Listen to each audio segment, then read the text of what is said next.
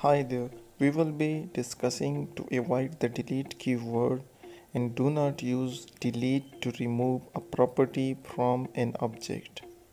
This mutates the original object and can lead to unpredictable behavior which becomes difficult to debug.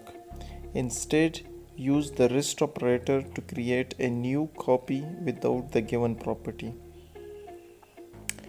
We will be discussing this in our video today that why it is recommended to use the rest operator and create a copy of the object and not to use the delete keyword.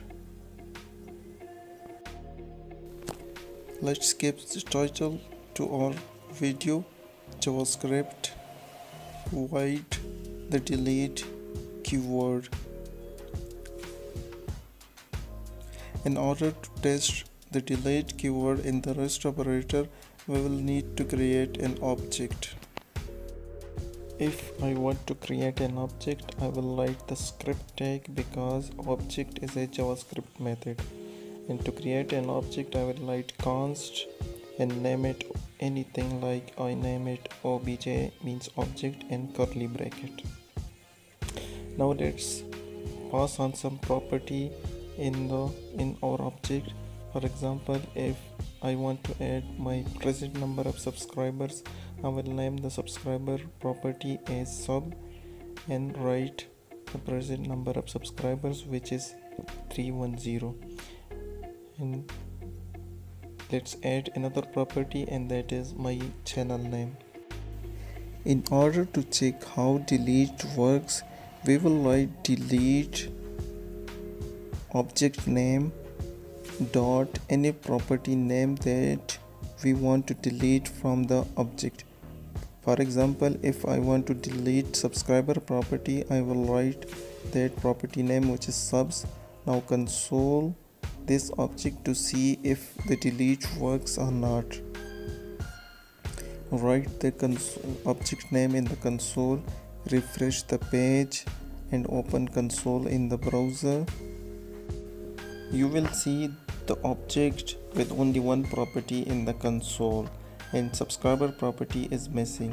Now if we want to delete the channel name we will write the delete keyword and object name plus the property name and that is channel. Now refresh the page and you will see an empty object in the console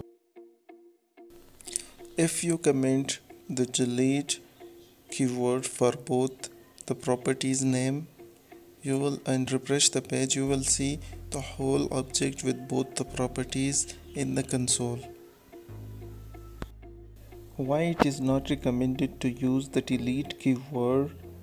Because you will have to write a line of code for each property that you want to remove from the object Instead, it is recommended to use the rest operator and create a new copy of the object and pass on all the names of the property that you properties that you want to remove from the object.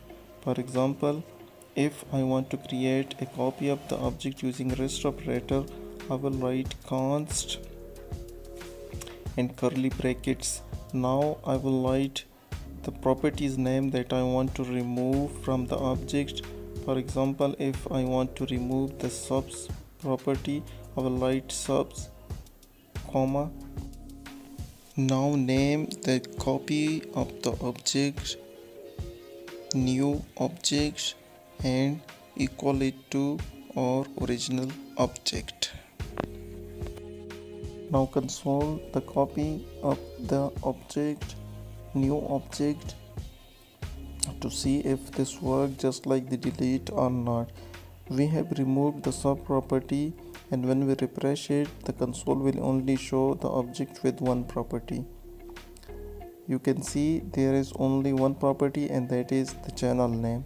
If I want to remove the second property I will write its name in the same line of code. For example the channel I will write the channel and when you refresh it you will have an empty object. Now if we add another property to our object and name it code red and when we refresh the page the console will show the object with one property and that is code red now if you want to delete that property too you will write its name in the line of code for example code. We will see an empty object because we have removed all the properties from our object. If you want to add the property back to the object just delete the name of the property. For example if I removed sub property and refresh the page the console will show one property and that is subscriber 310 you can see it is easy to use the rest operator and create a copy of the object because you can delete as many properties as you want from the object by writing their names in one line of code. While if you use the delete keyword, you will have to write each property a separate line of code to delete it from the object. This is the reason it is recommended to use the rest operator and create a copy of the object to delete properties from that object. Thank you for watching. This is the end of the video and we will be back with another JavaScript related video. Please subscribe.